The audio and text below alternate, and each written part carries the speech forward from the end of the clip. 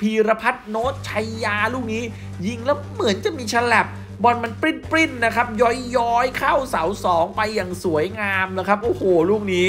เซฟออกมา แต่มาเข้าทางเพื่อนเก่านะฮะ อย่างวันเดอร์หลุยส์ครับ สงสัยมองแล้ว เฮ้ย ทีมเดิมนะครับ เรียบร้อยเลยครับ ลูกนี้เอเวอร์ตันกอนซาเวสพยายามที่จะเข้ามาสไลด์ แต่ว่ามันไม่ทันแล้วนะครับ โดนตีเสมอครับ 1 ประตูต่อหนึ่งนะครับแล้วกด ทำประตูทีมเก่าในแม่มันศักดิ์สิทธิ์เหลือเกินนะครับพีรพัฒน์โนชยาเปิดเข้ามาตรงกลางนะครับ แล้วไม่ใช่ใครที่ไหนครับ จังหวะนี้ครับทิติพันธ์ฮีโร่กับขึ้นเทคมงแล้วโอ้โหเข้าประตูไป เป็นประตูชัยครับให้กับแบงคอกชนะไป 2-1 นั่นเองนะครับ สวัสดีครับแตงโมลงปียพงษ์ยิงวันนี้ครับ เรามาติดตามนะครับศึกไทยลีกเกมแรกนะครับของฤดูกาลนะครับ ต้องบอกว่าเป็นการเจอกันของแบงคอกแล้วก็ประจวบนั่นเองนะครับ เดี๋ยวเราลองมาไล่รายชื่อ แล้วก็ลองมาดูหลาย ๆ จังหวะนะครับว่าเกมนี้เนี่ยมันเป็นแบบไหนอย่างไรบ้างเนี่ยนะครับเพราะว่าปีนี้มีการเปลี่ยนแปลงตัวผู้เล่นค่อนข้างที่จะเยอะนะครับ แล้วก็เรื่องของกระแสเนี่ยนะครับในการย้ายทีมเนี่ยบางท่านอาจจะยังไม่ทราบ เราก็ลองมาไล่เรียงกันดูแล้วกันว่ามีใครบ้าง 11 ตัวจริงนะครับ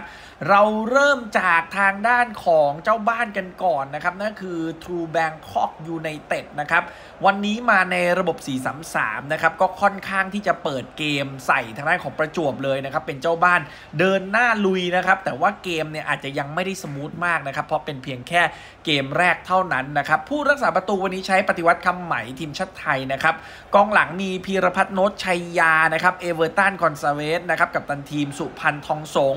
นิติพงษ์เสลานนท์ทางด้านขวานะครับตรงกลางมีวีรเทพป้อมพันธ์นะครับทิติพันธ์พ่วงจันทร์นี่คืนสนามแล้วนะวันนี้ใช้ได้เลยนะครับปกเก้าอันนันต์ครับและข้างหน้าก็มีรุ่งรัตภูมิจันทึกนะครับแล้วก็มุเซนอัลกาซานีนะหลายคนจับตามองนะว่าคนนี้จะเป็นยังไงนะแล้วก็มามูดดาฮัดดานั่นเองนะครับ ในขณะที่ประจวบครับของเสือเตี้ยนะครับคดเตี้ยเนี่ยนะฮะสะสมทบประเสริฐนะครับ ก็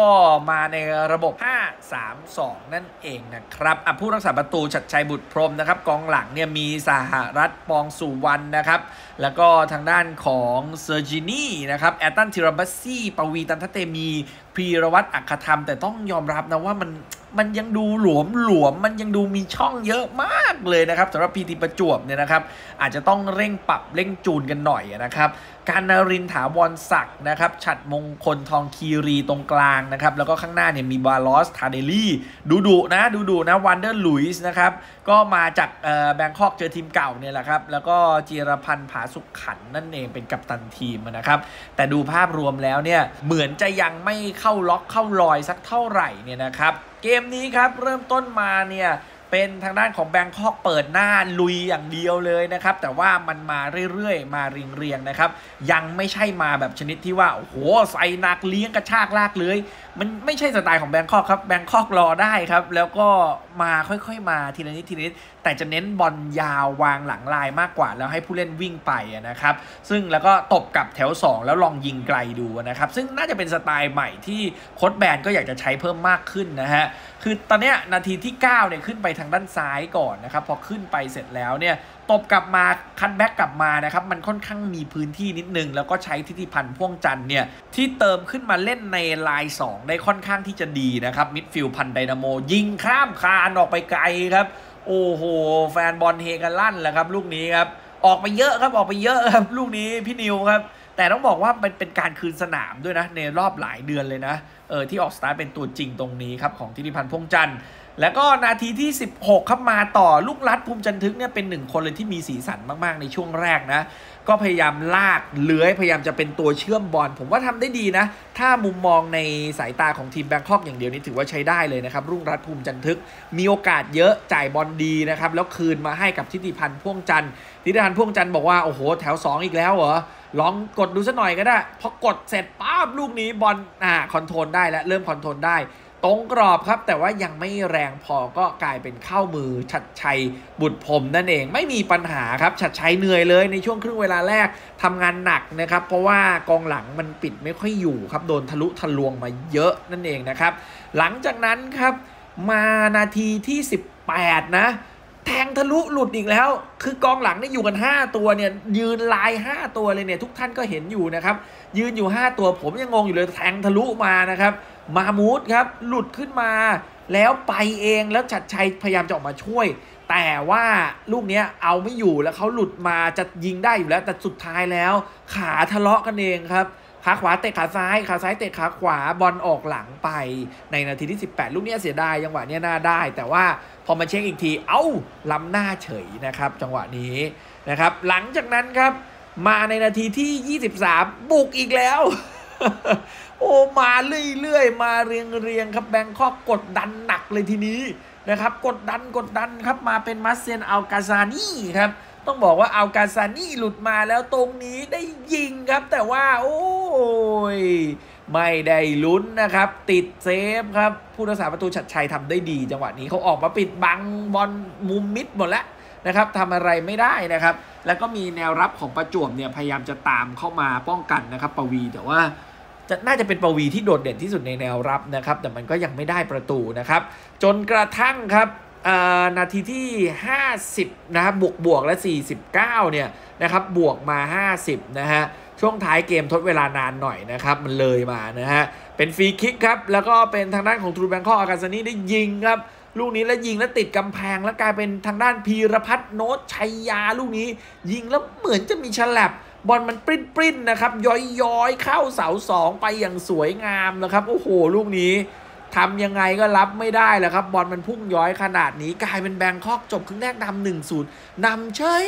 นะฮะ โอ้ แต่ก็น่าน่านำนะ เพราะว่าบุกเยอะนะครับ บุกมาเยอะนะครับ ได้จนได้นะครับ ลงมาเล่นกันครึ่งหลังกันต่อนะครับ ต้องบอกเลยนะครับว่า โอ้โห โค้ชสะสมพบประเสริฐเปลี่ยนเกมเฉยเลยครับ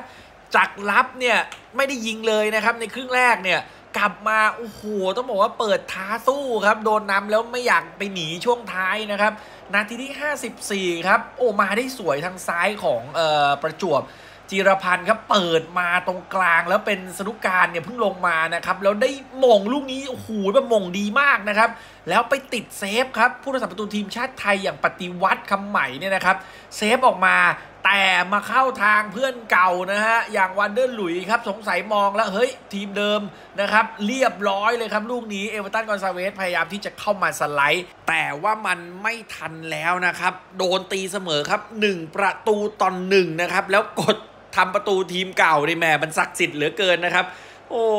โดนครับวันเดอร์หลุยส์ครับ หลังจากนั้นนะครับ โอ้มาต่อเนื่องเลยครับประจวบนะครับ นาทีที่ 56 ครับ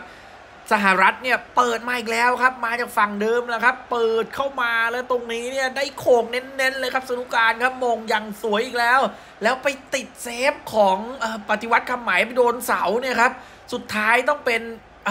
แนวรับของแบงคอกเข้ามาช่วยเคลียร์ครับพีรพัฒน์นชยาอย่างนั้นโดนขึ้นนำแน่ครับสองหนึ่งแน่แต่ยังไม่โดนครับ โอ้โชคดีมากเลยนะครับ ลูกนี้ครับ ยังไม่ได้ครับ แต่หลังจากนั้นมาแบงคอกก็อยู่ไม่ได้แล้วครับ ขอหน่อยดีกว่านะครับ จะมาล่อเป้าโดนยิงอย่างเดียวไม่ได้ครึ่งหลัง กลับมาครับ ในช่วงนาทีที่ 60 อากาซินี่หลุดเดียวครับ บ้าไปแล้วที่ที่พันไหลมาให้อย่างสวยเลยครับ แล้วเนี่ย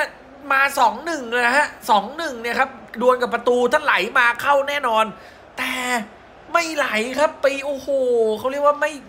ใจไม่กว้างพอนะครับ ไปยิงติดเซฟมามุดนี่ด่ายับเลยครับ บอกไม่ส่งกูวะนะฮะลูกนี้เงินเข้าแล้วครับ โอ้โห เสียดายแทนเลยครับลูกนี้ครับยังหนึ่งหนึ่งครับ และก็เป็นทางด้านของแบงคอกนะครับ ไม่รู้เป็นอะไรนะครับ ชอบมายิงครึ่งหลังและช่วงท้ายเนี่ยมาอย่างบ่อยนะครับ นาทีที่ 79 นาทีที่ 80 แถวๆ นี้แกมาบ่อยมากครับพีรพัฒน์นชยาเปิดเข้ามาตรงกลางนะครับ แล้วไม่ใช่ใครที่ไหนครับ จังหวะนี้ครับทิติพันธ์ฮีโร่ครับขึ้นเทคมงแล้วโอ้โหเข้าประตูไป เป็นประตูชัยครับให้กับแบงคอกชนะไป 2-1 นั่นเองนะครับ และที่สำคัญจังหวะนี้นี่โอ้โหเทคตัวลอยมงแบบสุดสวยจริง ๆ ครับหายไป 10 เดือน กลับมาพร้อมกับประตูฉลองประตูชัย ก็ต้องบอกนะครับว่าเป็นเกมแรกอย่างเป็นทางการสำหรับไทยลีกแล้วครับ ตรงนี้แล้วก็จบลงด้วยสกอร์นี้นั่นเองครับถ้าหากว่าชื่นชอบอย่าลืมนะครับ กดไลค์ กดแชร์ กด Subscribe กดกระดิ่งแจ้งเตือนจะได้ไม่พลาดทุกคลิปความเคลื่อนไหววันนี้ลาไปก่อนสวัสดีครับ แตงโมขายบ้านทาวน์พลัสเกษตรนวมินทร์3ชั้น 3 ห้องนอน 3 ห้องน้ำ 2 ที่จอดรถ แอร์ และ built-in เฟอร์นิเจอร์ฟรีทั้งหลังแถมฟรีโซลาเซลล์ประหยัดไฟ